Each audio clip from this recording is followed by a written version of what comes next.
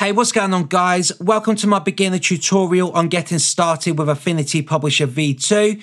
In this video, I want to show you how you can set up your canvas to the correct size for your projects and talk about all of these other individual settings and what they are used for.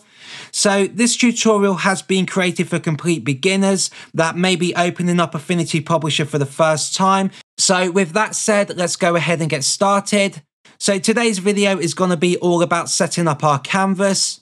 And when you first open up Affinity Publisher for the first time, you're going to be presented with this dialog box in front of us.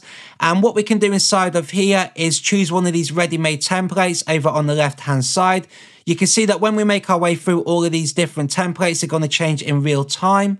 So we can get a visual look of how our design is going to look once we go ahead and set up our canvas. And there are many different types of presets in here that you can use for all different types of projects, such as if you're designing for an iPad mini, for instance, you have that option right there. That is going to be the perfect size to design for that iPad mini or the iPad 10.5, as well as the iPhone X or XS. And of course, if any of you guys like to design for social media, then we have a few different options inside of here as well. So in most cases, when you open up Affinity Publisher, you are going to want to use one of the ready-made presets as these are going to be all the common sizes that are used in today's projects that you may want to go ahead and create. However, if you find that you do want to make something a little more custom and specific to what you are going for, then what we need to do is just manually create our own. And the way that you would do that is just down here inside of our page width and our page height. All we got to do is simply drag across this or double tap in any of these and we can go ahead and just change these numbers to anything that you would like. I'll go and put 3000 by 3000, hit enter on my keyboard. Then you will see in real time that this will update our preview and now we can see what we're going to get. And another thing that you may want to do is go and change your document units. As default for me, this is in pixels, but some people like to work in points or inches or millimeters, and this is completely up to you and how you would like to work. Then next we have our DPI settings and this is going to vary on the type of project that you are creating. If you want to go ahead and print your document once you've completed that, then you want to set your DPI to 300 and always leave it at 300 if you want to print. However, if you are just designing for web or device, i.e. maybe a mobile phone, iPad or computer, then you can leave your DPI as 144 or anything that you would like. This really does not matter if you are designing for web or device. It becomes more important when you want to print. So remember, if you do want to print, set that at 300. If you want to design for web or device, then you can have that as anything you like. It really does not matter. It is recommended that you do try and keep that low as it's going to take up more space on your computer if you don't, as it's going to increase the quality of the images and the content the higher that you set this. So next we have this image placement option with a couple of different options inside of this drop down menu. First of all, we have prefer linked and then we have prefer embedded. And what this means is that if any of you guys want to import any images into Affinity Publisher, if you use that prefer linked, then that is going to direct to the original location on your hard drive of where you save that image.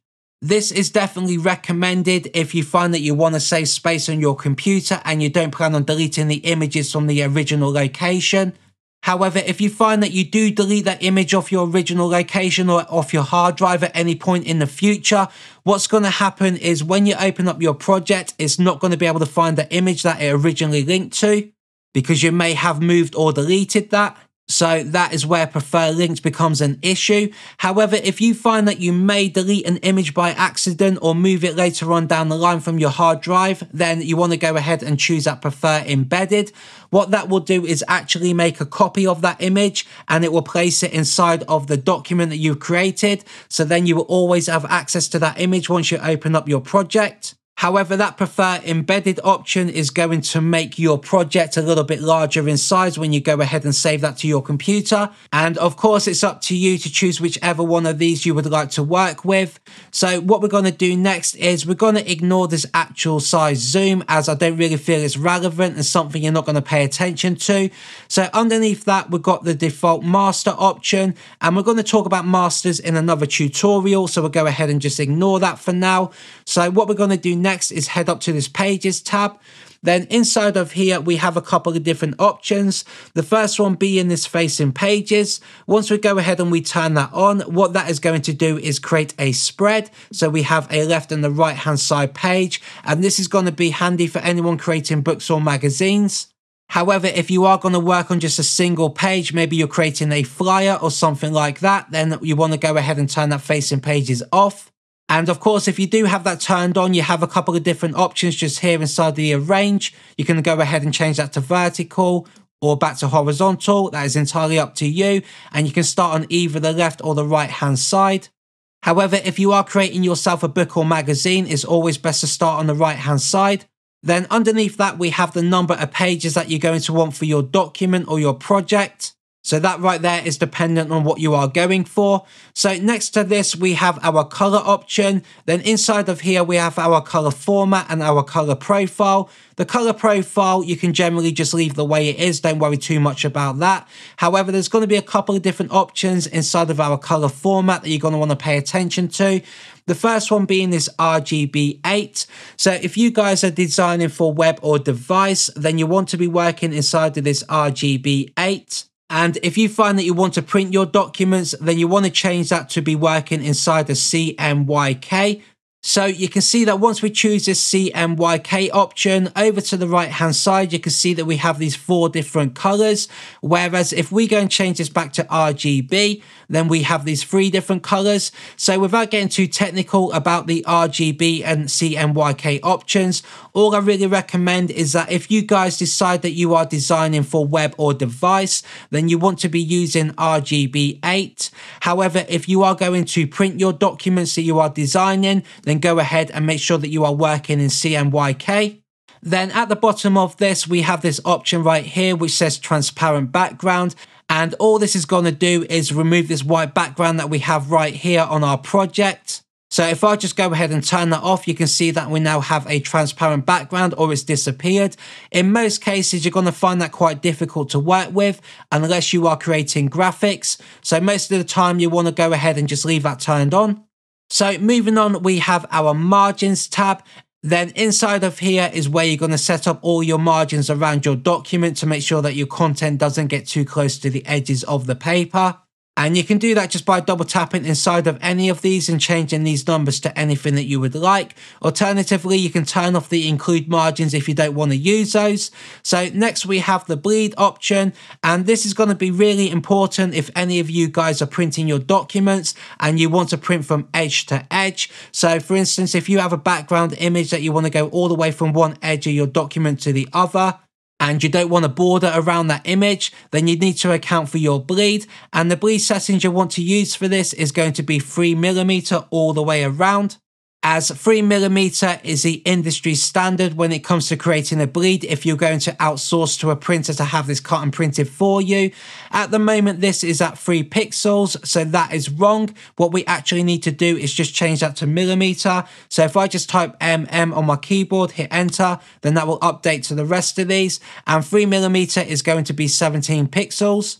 And depending on the units that you are working in, it's going to update that, whether that's going to be in inches or centimeters, etc. However, you can just simply type in 3 millimeter, hit enter, then that will automatically convert for you in your current units. So if you find that you've now created a custom sized canvas that you may want to use again in the future, then it's a good idea to save it as a preset.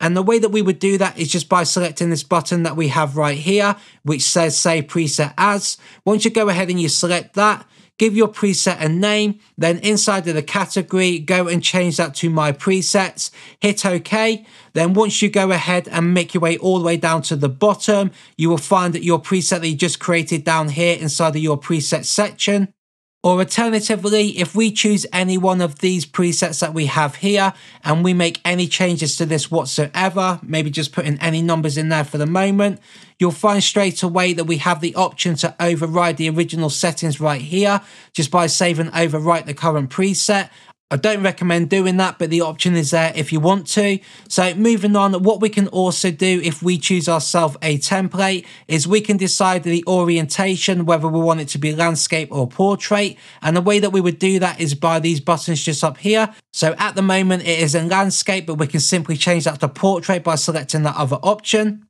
And this drop down menu right here is just a quick way of finding what you are looking for inside of your templates rather than scrolling down you can just simply navigate straight to the print section. So what I want to quickly point out as well is we have this print option right here and this press ready. Essentially, these are both exactly the same thing. They have all of the same sizes inside of here. The only difference between both of these is the press ready has automatically got our DPI as 300 and our color is CMYK. So the press ready is going to be used for a print, whereas the print option at the top here that is now going to set that as RGB. So we are working in web or device. And the DPI is the same, but you can go ahead and change that if you want to. So moving on, what else we have here is we have the option to create the new document. And this is where we're going to end up as soon as we open up Affinity Publisher. Then underneath that, we have the option to open up any previous documents that we may have created. Then underneath that, we also have the option to open up any recent projects that we may have worked on. This is going to be empty for you guys if you are brand new to Affinity Publisher, although it will start to populate over time when you start saving some projects. So underneath that, we have an option to go and find some templates that we may have imported and downloaded from the internet. So finally, we have this sample section where we have a few different documents which have been created by the Affinity team. And these are really just used as a way of showing you how all of this comes together. Of course, you can go in here and edit any of this and change the content to be your own, but I don't recommend you do this as you're better off creating something from scratch. But if you guys want to have a little play around with these and seeing how it all comes together, then feel free to do so. So with all of that out of the way, that is pretty much the end of this tutorial on getting started with creating our canvas and setting up our color format and our DPI. And one more thing I'll mention is this option right here, which says show on startup. With this checked, then every time you open up Affinity Publisher, this dialog box will show up which is going to make it a lot easier every time you want to start a project. However, if you don't want that to show up, go ahead and turn that off. Then you'll find that when you open up Affinity Publisher, it will look like this. And the way that you'll get back to starting a project is going up to the File menu and select New, and then that will bring it back up for you. However, it's easier just to leave that turned on to begin with, then you won't have to do that step. Then finally, all we have to do is hit this create button right here to get started with our project. So that is it for this video in setting up our canvas inside of Affinity Publisher V2 and I will see you in the next video.